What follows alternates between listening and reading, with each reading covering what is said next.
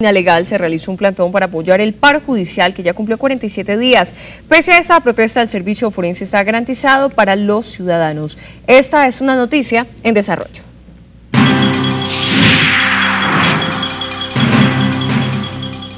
Cable Noticias, en el lugar de la noticia, saludamos a nuestro compañero Andrés González. Andrés, buenas tardes adelante con la información.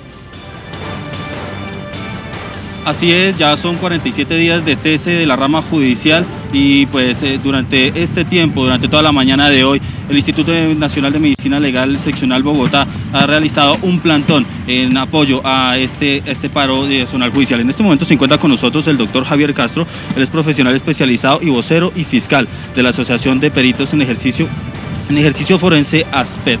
Doctor, eh, ¿de qué se trató esta, eh, esta manifestación del día de hoy? Eh, la manifestación del día de hoy que se hace por parte de los funcionarios de la Regional Bogotá se hace a partir de dos circunstancias. Una, eh, en la circunstancia misma de que somos parte de la rama judicial, apoyando entonces el paro de la rama judicial que en este momento viene siendo liderado por Azonal Judicial.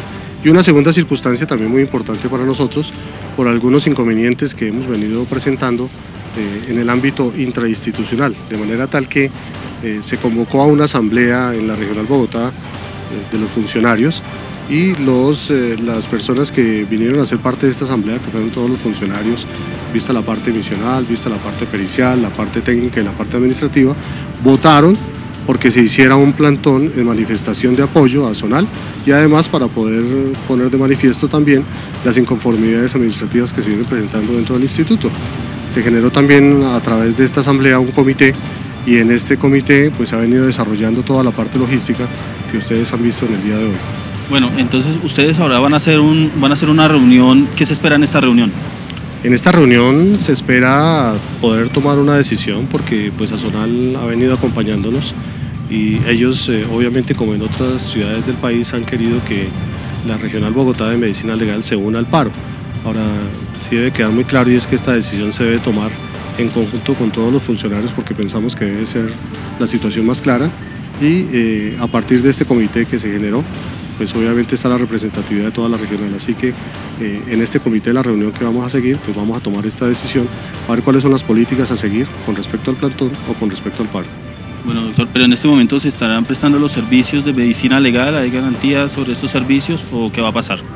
Muy importante también aclarar porque en otros medios habíamos escuchado que no había servicio en la regional Bogotá y a través de este medio pues aprovechamos para dejarle claro a la comunidad que como los funcionarios tenemos este tipo de inconvenientes, los dolientes no pueden ser efectivamente parte de esto también, de manera tal que los servicios que presta la Regional Bogotá en este momento en medicina legal se están prestando todos. Pues doctor, muchísimas gracias. Pues esa es la información que se registra en este momento en el centro de la ciudad desde el Instituto Nacional de Medicina Legal.